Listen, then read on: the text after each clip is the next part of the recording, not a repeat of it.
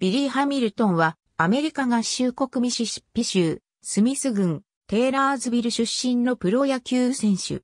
宇藤良太。MLB のシカゴホワイトソックス所属。愛称はボーン。2012年にマイナーリーグで史上最多の年間155盗塁を記録した。同姓同名の選手に MLB 歴代3位の914盗塁の記録を持つ19世紀の名外野手、ビリー・ハミルトンがいる。ミシシッピ州の人口1300人ほどの小さな町テーラーズビルで生まれる。少年時代はデレク・ジーターに憧れて育った。高校時代は右打席から一塁ベースまで3.78秒の俊足に加え、救援投手として92マイルパーアワーを投じる、強肩で鳴らした。州大会のプレーオフでは、右翼ファウルフライを遊撃の守備位置から走ってダイビングキャッチし、シンシナティレッズのスカウトに今まで見た中で最高のプレーと言わしめた。野球以外にアメリカンフットボールとバスケットボールでも活躍。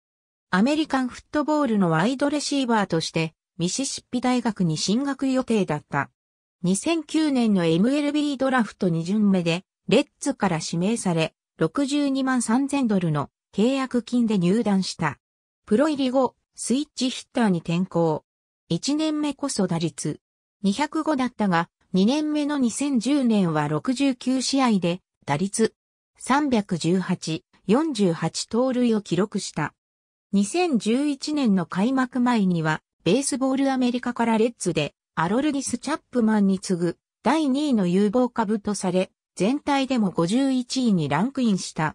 A 級、デイトンドラゴンズで、メジャー通算463盗塁のデライノ・デシールズ監督から指導を受け、135試合で103盗塁を記録した。トリプル A 級、ルイビルバッツ時代2012年は選球眼が向上して出塁率が上昇し、A 級ベーカーズフィールドブレイズでは82試合で104盗塁を積み重ね、A 級ペンサコーラブルーワフーズに昇格。AA 級でも会長に盗塁数を増やし、143盗塁で迎えた8月21日に4つの盗塁を成功させて147盗塁。その後も記録を伸ばし、最終的に132試合の出場で155盗塁を記録した。10月2日、遊撃手から中堅手にコンバートされることが決まった。オフにはベースボールアメリカからレッツのナンバーワン有望株に選定された。2013年9月3日のセントルイスカージナルス戦でライアン・ラドウィックの代走としてメジャー初出場。この試合でやディアーモリーナから2投を決め、トッド・フレイジャーの2塁打で得点を決めた。同月7日までに4試合でダイソーで出場した。10日のシカゴカブス戦で7回にアキシン守るに代わり、中堅の守備につき、メジャー初打席に立った。18日のヒューストンアストロズ戦で9番中堅手でメジャー初先発出場を果たし、2回の第1打席でメジャー初安打を放った。この試合では4打数3安打1打点を記録し、計4投手から4盗塁を決めた。初先発で4盗塁を記録したのは1920年以降で初であった。最終的に13試合の出場にもかかわらず、13盗塁を記録した。2014年は開幕からレギュラーとして起用された。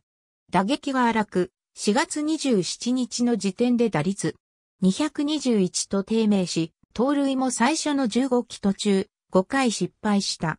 6月にはルーキーオブザマンス。後半戦は走攻守ともに向上し、9月2日にシーズン55個目の盗塁を記録し、レッツの球団新人記録を樹立。1909年にボブ・ベスチャーが記録した54盗塁を105年ぶりに更新した。最終的に56盗塁を記録し、ロサンゼルスドジャースの D ゴードンに次ぐナショナルリーグ2位だったが、盗塁失敗23はナショナルリーグ最多だった。ゴールドグラブ賞の候補にも挙げられたが選出を逃し、新人王投票でもニューヨークメッツのジェイコブ・デグロムに次ぐ2位に終わった。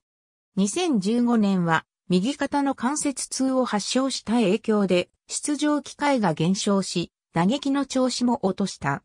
走塁では2試合に1盗塁のペースとなる114試合出場での57盗塁を記録。タイトルは逃したが、成功率は87.7%という効率だった。2016年、過去2シーズンに続いて、故障による離脱が発生し、119試合の出場に止まって、規定打席にも未達だった。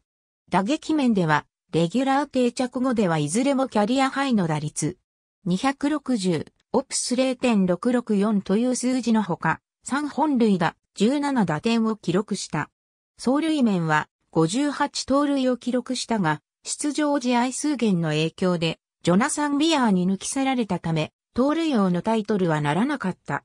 2017年は139試合に出場し、3年ぶりに規定打席に到達した一方で、打率、出塁率、長打率のいずれも昨年を下回る成績だった。2018年は153試合に出場したが、盗塁は34に減った。オフの11月30日にノンテンダー FA となった。2018年12月11日にカンザスシティロイヤルズと1年総額425万ドル、2年目に750万ドルの延長オプション付きの契約を結んだ。2019年8月16日にディーフとなった。2019年8月19日にウェーバー工事を経てアトランタブレーブスへ移籍した。オフの10月31日に FA となった。2020年2月7日にサンフランシスコジャイアンツとマイナー契約を結んでスプリングトレーニングに招待選手として参加することになったと報じられ、9日に正式公示された。